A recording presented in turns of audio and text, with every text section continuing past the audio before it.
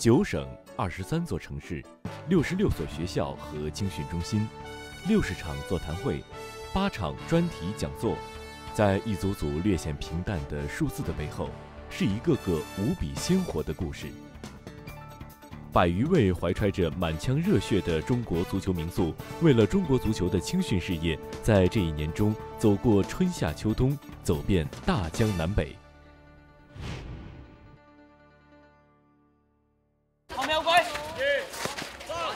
好的，好球，对对对，就从这个点打，好球，好球，许福。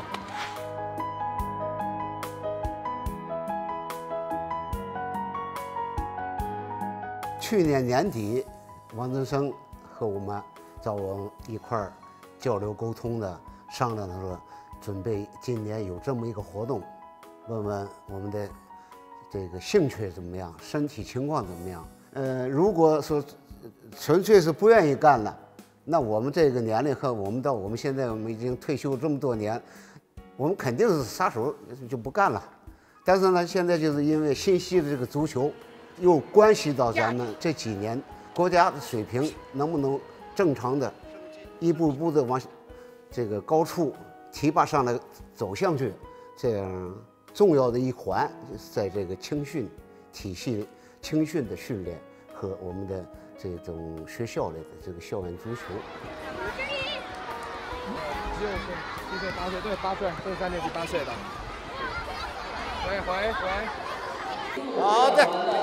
哎，可以停一下子。现在是有一个孙女了，有一个孙子。那个孙子呢是，从现在开始他很希望踢足球。李小光给讲这个课，五到八岁就是兴趣，啊，他就是一个呃自由自在的。他现在才一年级，和这些孩子们校园足球的孩子一样，去的他们都是在这个阶段里边，呃，重要的就是培养他一个兴趣，啊。他锻炼了这个体质，呃，生活有规律了，喜欢上这个东西呢。这个慢慢的，他也知道了，足球不是往一个人，啊，呃，很多要有同伴儿。这种竞技体育训练的刻苦，团结友爱的品质，这些啊，这就是对孩子产生足球的这种文化当中，使他能够在这个阶段当中能够不断的升级。我觉得这个孩子才能够对社会有所作为。嗯，我们所做的最重要的工作，就是我们在校园上，我们是给这些零基础的这些体育老师，对他们的这种一个沟通交流，或者是辅导。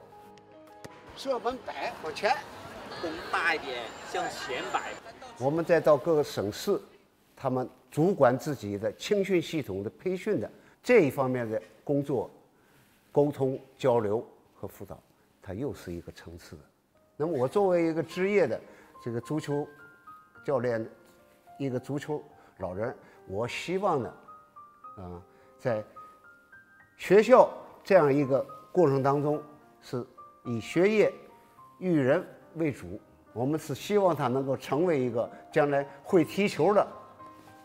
这个银行家会踢球的，这么一个医生会踢球的，这么一个那工程师，那么作为这些从事足球这个出出面这这一层的人，这一层的孩子，我希望他们要重新的去认识现代足球对他们孩子们的要求，他们怎么能够精心的投入到这个环境里边，如何要求自己。